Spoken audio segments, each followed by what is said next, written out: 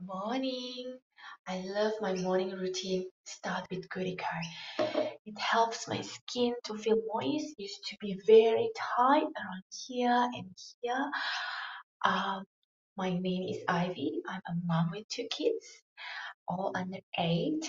I'm 38 years old, soon will be 39.